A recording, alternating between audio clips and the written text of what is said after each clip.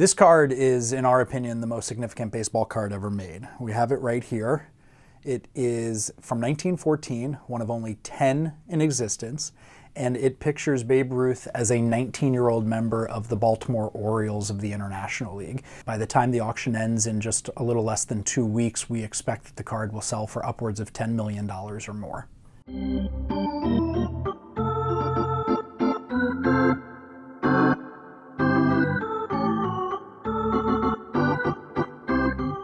Yeah, so I think it's a lot to be that plays on nostalgia. People have come back into the space over the past, let's say, five, three years, and it was really kickstarted by COVID. People are going through their attics, finding this old stuff they had, and it brought back a lot of feelings of nostalgia. Just like that concept, you want to get that car you couldn't afford when you were 18, that red Corvette. Now you can go back and get that Mickey Mantle card, or in this case, Babe Ruth from 1914, something that was a grail piece for a lot of people. Now people with a little extra money in their pocket can start to uh, put that to use and get something they could never afford.